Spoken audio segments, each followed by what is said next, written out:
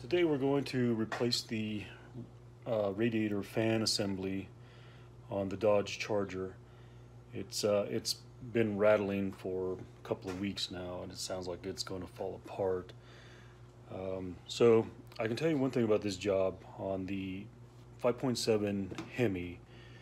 It's a little bit tricky to get it out and I'm going to show you that. Uh, it, it, will actually snake through the top. It's, uh, it's a little bit tricky and I'll show you that. But here's the radiator fan assembly and I'll show you what's wrong with it. So here's radiator fan assembly. You can see that. Yeah, I think you can see that moving around and you can also hear that. But uh, yeah, when that fan kicks in, that thing really starts to, to vibrate. Now, one reason I know about removing this fan and how it comes out is because it was about six months ago I replaced the radiator, which required removing that. I think it was two months ago that I replaced the water pump, which obviously doesn't require removing that. But uh, yeah, and this vehicle has about 100,000 miles, so some of these things are starting to wear out. Um, so, so the radiator fan assembly, got it from AutoZone. It is a Dorman 621526. Uh, they do make the same part number, uh, 621526XD, uh, which the difference is a, a brushless motor, uh, which they put in the pursuit unit or the uh, police spec vehicle. So on the assembly, it hooks on the bottom here. It just has a, a pocket or a grommet that sits on on the bottom and then two eight millimeter mounting screws. So it's actually as far as unsecuring it, it's uh, rather quick, but uh, the trick is when you got to get it out. It, and I'll, try to show that to you, but um, when it's sitting like this in the vehicle, you have to drop it down and kind of turns on its side and then it pulls straight up like that is how I got it out last time. So I'll try to show that to you. So I got to get started on this. So first thing I obviously got to do is I got to remove my aftermarket intake, then um, two eight millimeter screws.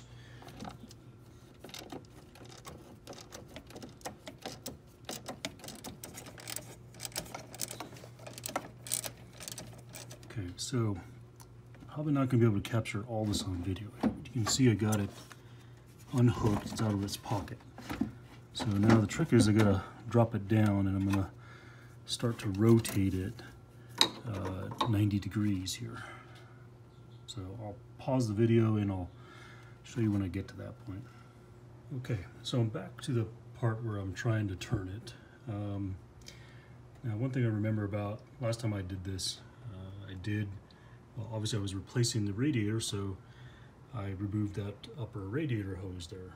Uh, so that is what is preventing that extra little maneuver uh, to turn it 90 degrees and then pull it straight up. So I'm going to drain off some of the coolant and uh, that way I can remove that hose. Um, just my opinion, I think that's a lot easier than uh, dealing with that whole lower fairing and the, the body clips and trying to jack it up and remove it from the bottom. So I'm just gonna go ahead and drain some coolant and uh, remove that hose so I can finish snaking it out.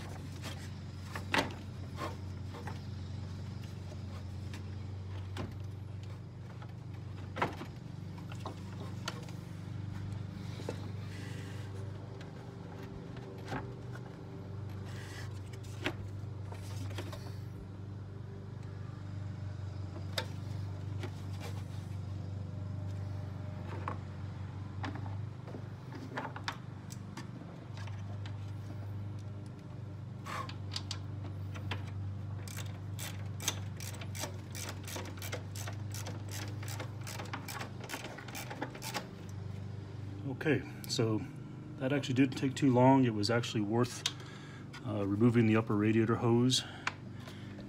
Uh, so the new assembly's in. So I'm gonna go ahead put the uh, air intake back on and uh, get this thing bolted up, get the coolant filled up,